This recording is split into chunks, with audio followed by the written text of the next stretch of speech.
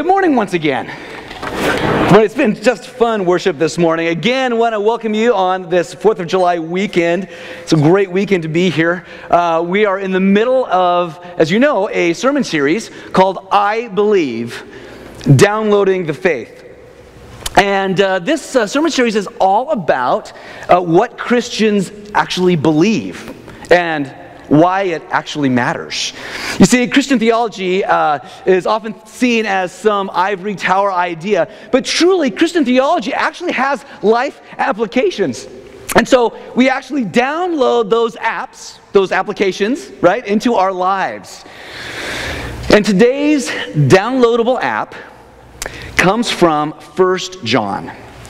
1 John chapter 4 verses 7 through 12. And before we read this though, let's pray that God would illuminate his word into our hearts and our minds and our lives. So let's pray together. Gracious God, we come before you on this Independence Day weekend. Grateful for the freedom that we have ultimately, Lord, freedom from sin and death because of you. And on this day, as we think about the world, think about our country, and Lord, think about you, we, we think of the awful things that are happening now, certainly Baghdad today, and, and, and the recent violence in, in Bangladesh. Lord, we pray for your freedom and peace around the entire globe.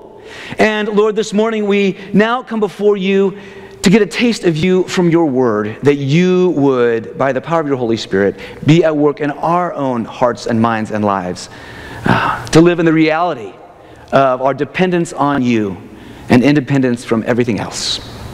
So, God, we pray that as we open your word now, that you would do your miraculous, life transforming work in our lives. And we know you will do this, Lord, because we pray this in the powerful name of Jesus Christ. We love you, Lord. Amen. So, this is 1 John 4, verses 7 through 12. Let's listen to God's word for us.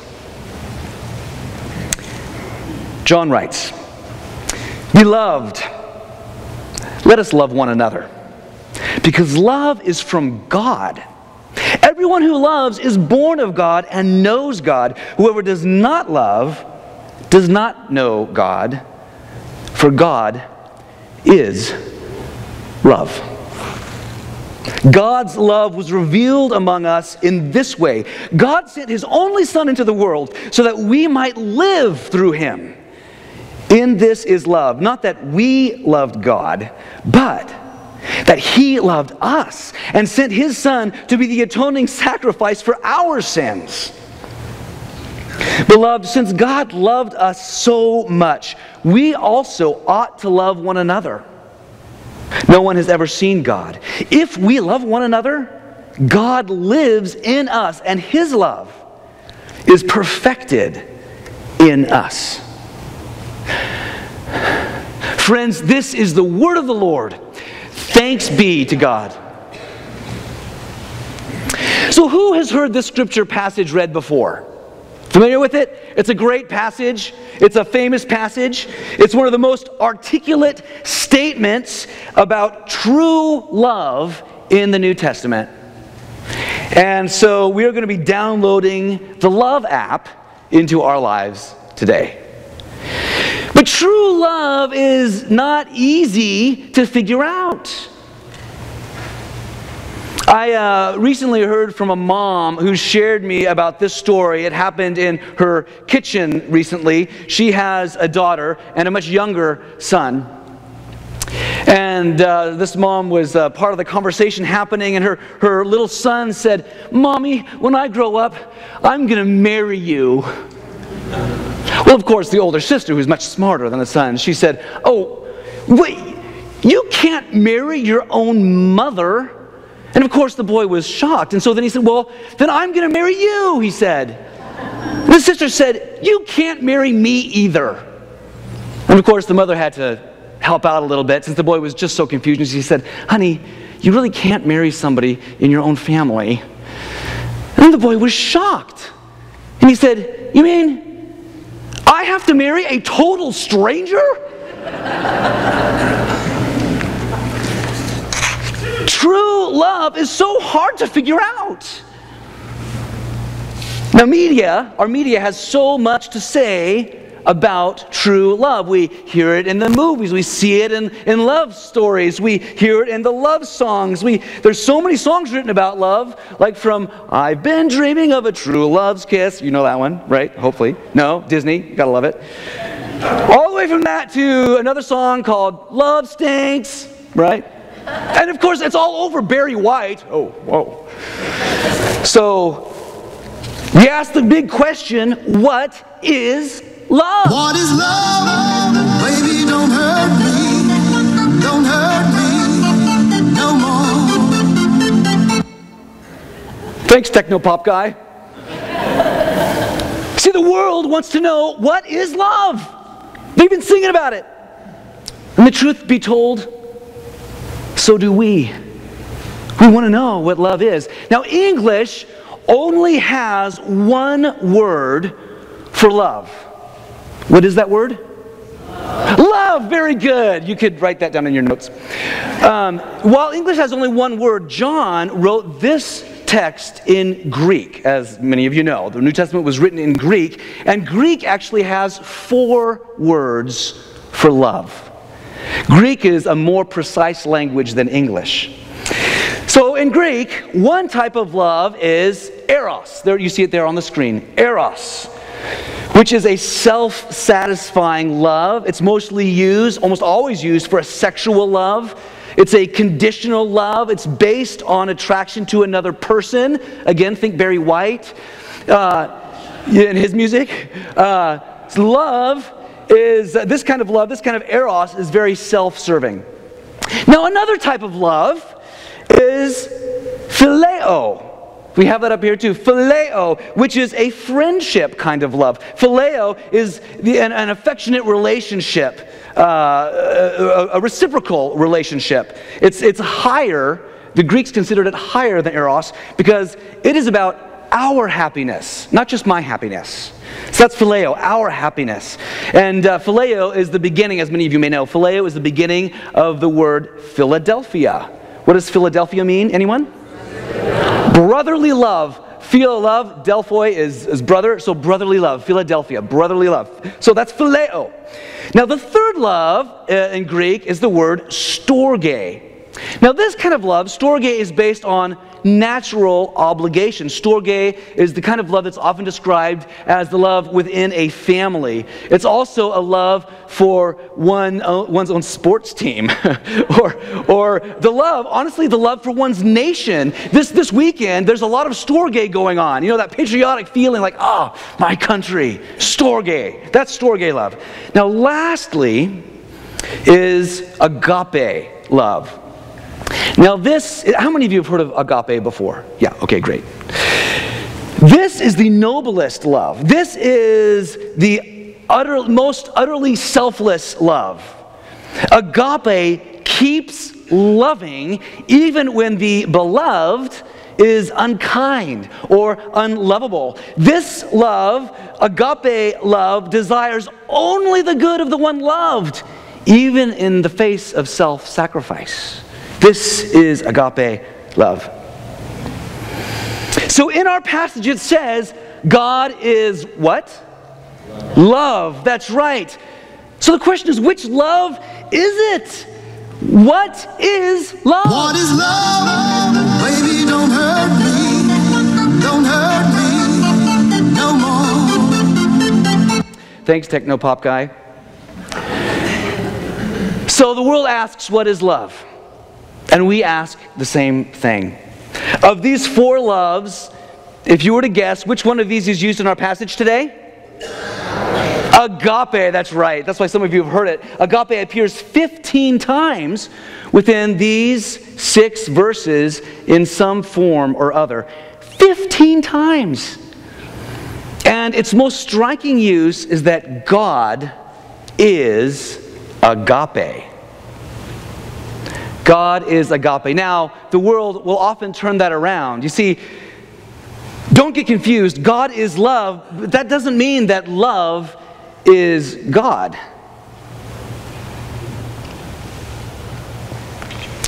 A young man wrote a love note to his beloved. And he wrote this My dearest love, if the world were the Sahara Desert, I would crawl on hands and knees through the burning sand just to be with you. If the world, the whole world were the Atlantic Ocean, I would swim through shark infested waters to be by your side. He said, if the whole world was like the African jungle, I would fight through lions just to be with you. And I cannot wait to be with you this Thursday if it doesn't rain. See, our human experience of love is so imperfect and it's broken. You see, that is not God. We use the word love to describe our feelings toward chocolate. We use love to describe our feelings toward a new car or a TV show or a political candidate, but maybe not recently. But when we say, I love it, so often, when we say that so much, we often become immune to real love. We don't know true love. So we ask, as the world asks, what is love? What is love? Baby, don't hurt me. Don't hurt Okay, me no more. Okay. So, yes, the world asks, what is love? We ask, what is love? This passage says, God is love. You see, love doesn't define God, especially our broken version of it. God defines love. You see, God is passionate about you to his core because God's core attribute is agape love. You see, love isn't just one of the things God does. No, everything God does is loving because God is nothing other than love. That's hard to hear. And I assume some of you are asking this very question that I ask myself, but what about those times when God seems so unloving? What is it about God that could be loving when we see the pain and destruction and violence in this world? God is love? This is a good question. The best way I can wrestle with this question is to understand it like a child who is dying. And his parents are doing everything they can to save this little boy's life. And they give him the worst medicine, the most painful medicine. He goes through these deep medical treatments, and this little boy has no idea why his parents are making him go through this. But they do it because they love that little boy desperately.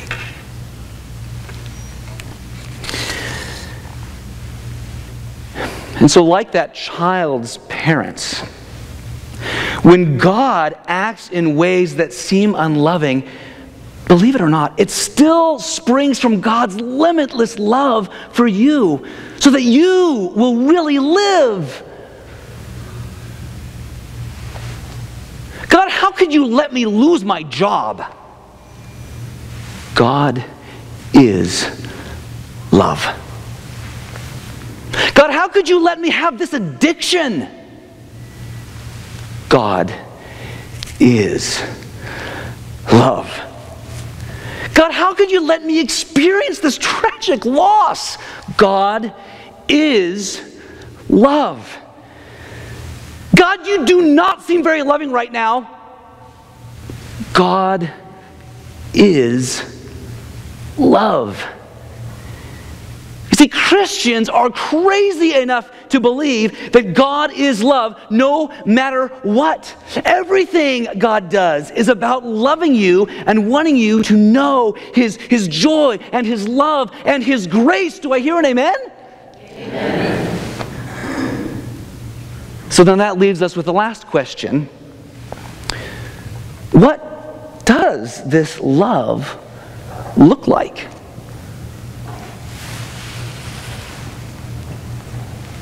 Well, if you look at our passage in verse 9, verse 9 tells us it looks like Jesus Christ. Says this God's love was revealed among us in this way God sent his only Son into the world so that we might live through him. God reveals agape most fully in Jesus Christ. This is his way of saying, I love you so much, I would rather die than live without you. And that's exactly what he does on the cross for you. Because God is love.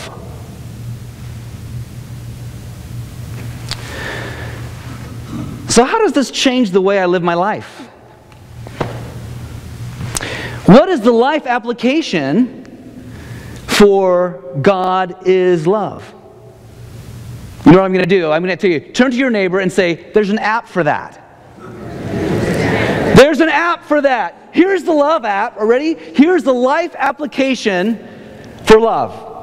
The app is found actually in verse 11. It says this Since God loved us so much, we also ought to love one another. I have to tell you, I have seen verse 11 lived out right here at Moorpark Presbyterian Church. Uh, many of you know that when I first got here, it's uh, not even two years yet since I've been here. Uh, so, so far, so good, right? Okay. Uh, uh, you don't have to answer that. Anyway, uh, within the first couple months of being here, many of you know I was the victim of a hit and run car accident. And I had a concussion. Now, before I had a concussion, I thought, yeah, concussion, whatever. No, a concussion means that your brain slows down so much, you just can't really process very well. And I think some of you wondered what in the world is going on with this new pastor. But my family, as a matter of fact, my family actually said that I had a different personality. And one of the things uh, Paige said is that, boy, that car accident really knocked the funny out of you. That was her phrase. Knocked the funny out of me. And so the doctor said, the doctor said that in order to get better, I shouldn't, I shouldn't be on my computer. I shouldn't write. I should not read anything. I, should, I basically had to stop thinking. Of course, I turned to the doctor in my stupor and say, but I have a really thinky job. but during that time of difficulty, this church, you all, came around me and my family. You cared for us. You brought food over for us. You prayed for us. There was actually even a group of you that came and stood on our front yard and prayed for me, for my family, for our home, for this ministry. You prayed for us. You revealed God's selfless agape love to me. And since God is love, is alive in you, that God who is love is working in your lives, you could not help showing me and my family God's love when we really needed it. We cannot thank you enough. Have you experienced God's love through others like that? Now, looking again at verse 11, John says that we ought to love one another. And as a matter of fact, the Greek here, emphasis, indicates that we owe this love to each other, like a debt. You see, God loves you so much to such extremes that you owe it to God to love others like that. This love is a crazy love that we need to reflect to the world. And this love extends out to the world. We know that because John also wrote, as you know, John 3:16, which says, God so loved the what? World. God's love for us is the source of our power to love the world. And so this love app sounds fantastic as we're sitting here in church this morning. But in all honesty, it is difficult to love the world. God commands that we love whether or not we feel like it. That's true agape love. And that's the challenge here. How can we love the unlovable? How can we love when we don't feel like it?